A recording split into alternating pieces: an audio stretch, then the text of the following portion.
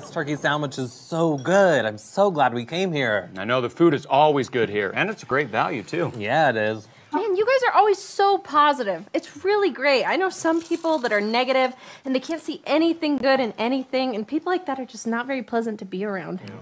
You guys, I'm right here.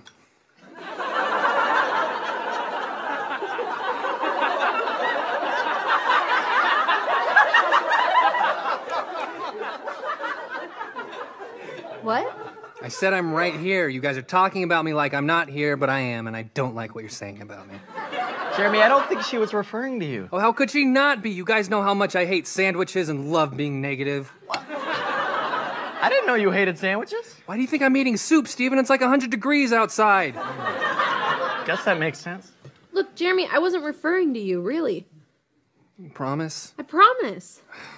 I'm sorry, guys. I just got out of hand there, you know? I don't want to be that guy, you know, who's so prideful and unwilling to back down and probably pops their collar. you know. Guys, I'm right here. Jason, I didn't mean you. Look, I can't help it that I'm better and more confident at everything than you guys. and sure, I'm physically built as if Michelangelo chiseled me from stone.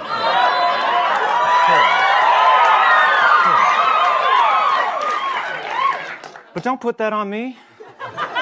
Okay, so you're a little cocky. There's nothing wrong with that. Oh, so the truth comes out. You know what? Most of the time, I'm just acting confident to cover up my insecurities because I don't want to be the guy who's overly sensitive about everything. I am right here. Do we know you?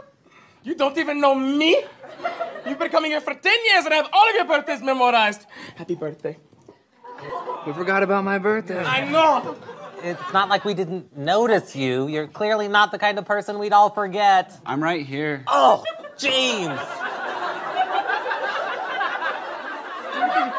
How long have you been there? I gave all of you guys a ride here. I remember being driven here by a faceless orb. Yeah, yeah, I know. Okay, I was voted most forgettable in my high school.